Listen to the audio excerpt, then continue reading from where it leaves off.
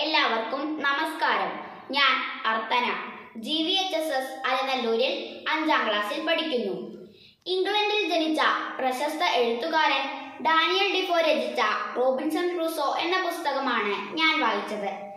ഈ പുസ്തകം പുനരാഖ്യാനം ചെയ്തത് വിനോദ് നാരായണനും ഇതിന്റെ ചിത്രീകരണം അനിൽ നാരായണനുമാണ്. ഈ പുസ്തകം പ്രസിദ്ധീകരിച്ചത് ഷാരോൺ ബുക്സ് ആണ് തൊണ്ണൂറ്റെട്ട് പേജുള്ള ഈ പുസ്തകത്തെ പന്ത്രണ്ട് അധ്യായങ്ങളാക്കിയാണ് തിരിച്ചിരിക്കുന്നത്.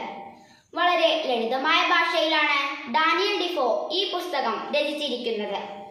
റോബിൻസൺ ക്രൂസോ സീരി ഫ്രൈഡേ ക്രിസ്ത്യാനസ് തുടങ്ങിയവരാണ് ഈ കഥയിലെ പ്രധാന കഥാപാത്രങ്ങൾ.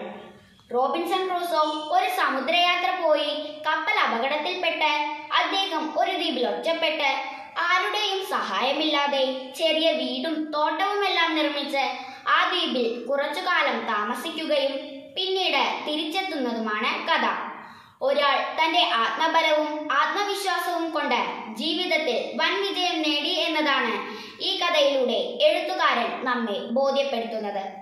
സാഹസികത നിറഞ്ഞു തുളുമ്പുന്ന ഈ കഥ എനിക്ക് വളരെയധികം ഇഷ്ടമായി. താങ്ക്